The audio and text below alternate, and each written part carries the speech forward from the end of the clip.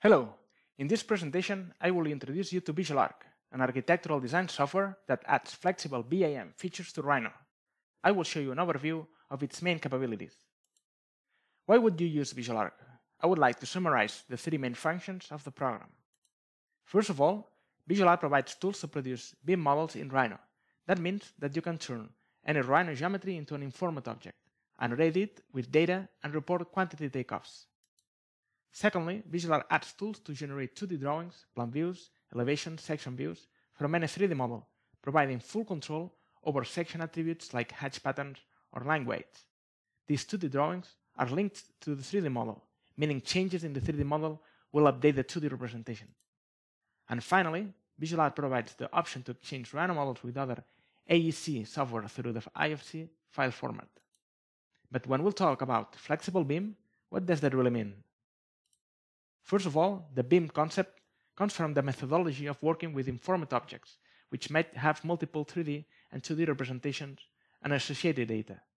This has several benefits. For example, quantity takeoffs are easy, and in many cases, you can produce 2D dynamic drawings automatically from the 3D model. BIM, because VisualARQ provides a set of architectural objects that are parametric and associative and have simultaneous 2D and 3D representation.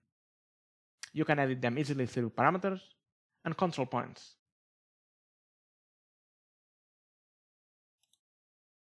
And BIM, because as mentioned before, VisualARQ provides the IFC translator that lets you import and export IFC files between Rhino and other programs. That way, some of the architectural objects exported to IFC are recognized as native objects in the program that reads the IFC file, and the other way around. The data stored in the geometry is also kept in IFC files. The concept of flexible BIM comes from the fact that since VisualARQ works on top of Rhino, it is possible to work with BIM objects with no limits of shape and design. That way, you can assign to any piece of geometry a specific IFC category. In the example of the picture, a polysurface has been tagged as an IFC slab, and therefore it is recognized as a slab or floor if you send it to Revit or ArchiCAD through IFC. In addition to the IFC tag, you can add custom information to objects, such as manufacturer, cost, material, or any other parameter, and this data will be exported to IFC as IFC properties. And finally, the flexible concept is related to how VisualARQ integrates completely with Grasshopper, letting you automate workflows with the VisualARQ Grasshopper components. So basically, there are components to create VisualARQ objects and components to deconstruct them.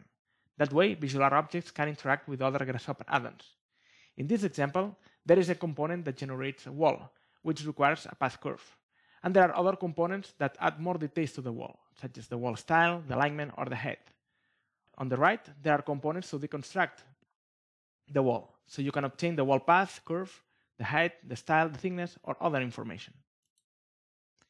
This is an example of how to use columns and slabs in a grasshopper definition for a parametric structural system of a tower. Another way VisualARQ works with Grasshopper is by creating VisualARQ objects from Grasshopper definitions. That way, you can have multiple parametric objects with different dimensions in the same document, all driven by the same Grasshopper file.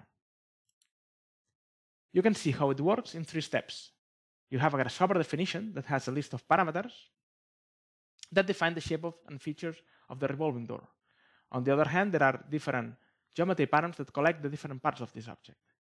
Then you can open the door styles dialog to create a new style using this definition. So you open the Grasshopper file. You get a list of components and parameters defined in the Grasshopper file. And you decide how you want to edit them, and the object becomes a new door in the styles library. So finally, you can just insert the door in the model, select it, and change its parameters. At this point, no Grasshopper knowledge is required, although Grasshopper is running in the background. That means that people who don't know Grasshopper can use objects that others have developed. In Food4Rhino, there is a section where you can find visual object styles created with Grasshopper. I encourage you to share yours as well with the community.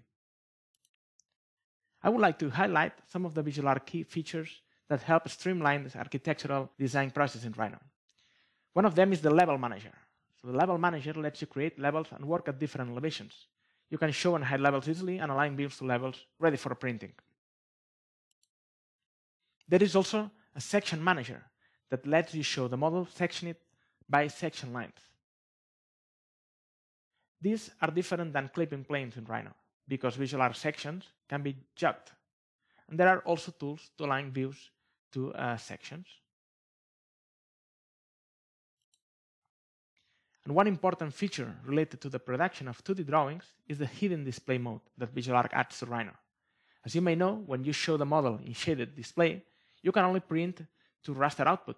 Otherwise, you see all the edges and isocurves that should be hidden.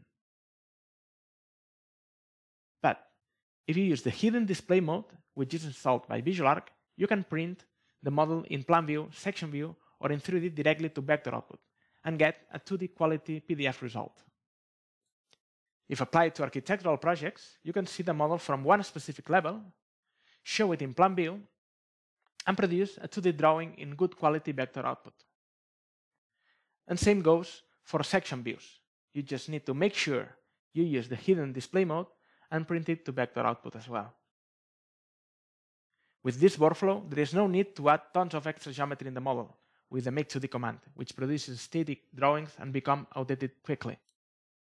Now, I would like to show you different user projects as examples of the different ways VisualARQ is being used today. This is the Basilica in Croatia, where VisualARQ was used to generate the 3D model using the parametric architectural objects, which also provide the plan view representation of the building. In these other projects, VisualARQ was used for producing 3D model for visualization purposes. Another use of VisualARQ we are seeing is in historic preservation. Users are using VisualARQ for bridging 3D scans to BIM. They insert the scan point cloud into Rhino and use VisualARQ to reproduce the model in 3D.